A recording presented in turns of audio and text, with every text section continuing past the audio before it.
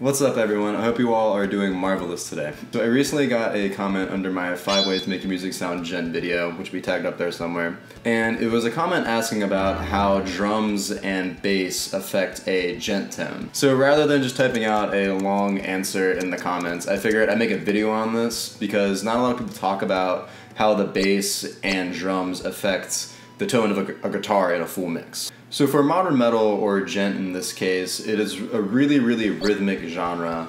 So a lot of these elements are in the low end, which really helps drive home these really kind of erratic rhythms or just kind of odd time signatures and things like that. And so the best way to kind of explain this is kind of work your way from like the top to the bottom in a sense. So guitars would be the ones sitting on the top, then it'd be bass, and then actually be the drums. More specifically, your kick drum. So with keeping these three levels in mind, a lot of guitar tones are made to be very present and kind of in your face because that's what your ears are really going to hear the most. So to talk about this today, I'll be using some music I wrote for one of my previous videos, and that kind of sounds like this.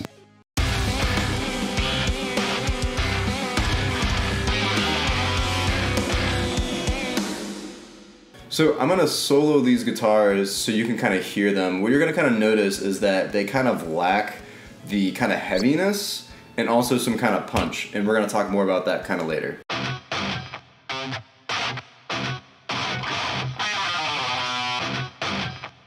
Now, the reason they kind of lack the heaviness or just kind of a little bit more low end kind of brings us into the next level of this weird pyramid thing we're kind of doing um, and that is bass.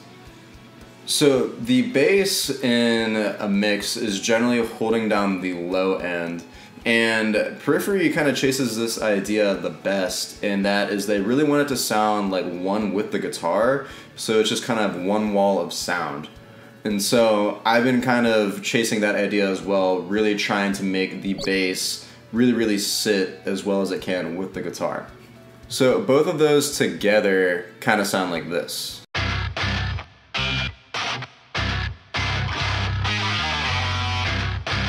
And so you, now you're really hearing a lot more of this kind of heaviness, I guess, but really it's just adding in more low end to that. And the way we're kind of making this sit within this mix to kind of create this heavier djent tone is I'm actually cutting a lot of the low end off the guitar here. It's almost up to 120 hertz.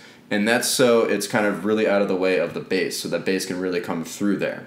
Now, moving on to the last aspect, which would be the drums, and more particularly the kick drum, which really adds the punchiness to like a djent tone.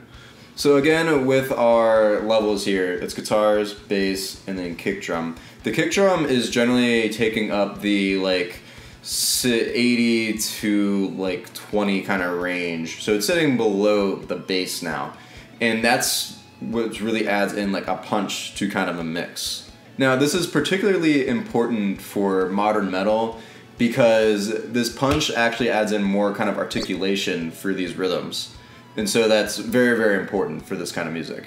And so if we wanted the bass to kind of sit really well with the guitars, we really want the kick drum to sit really, really well with the bass. Because when you start messing with these low frequencies, a lot of things can get out of control really, really quick and really kind of kill a mix. Or in this case, this tone we're kind of going for. And so since the bass and kick drum sometimes occupy the same frequencies or they overlap a bunch, the way we can kind of get around this is with a sidechain. And so on my mix here for the bass, I have a compressor sidechained to the kick. And so what this means, anytime the kick actually plays, it ducks the bass by like 3 dB. So the kick drum comes out very articulated this way. And I have the release set pretty short here, so the bass that's filling on that low end comes right back in very, very quickly. So really all you're kind of getting out of this technique is that punch or articulation from the kick drum. So adding back in the drums here with the guitar and bass, you're gonna see that there's a lot more punch now to this mix.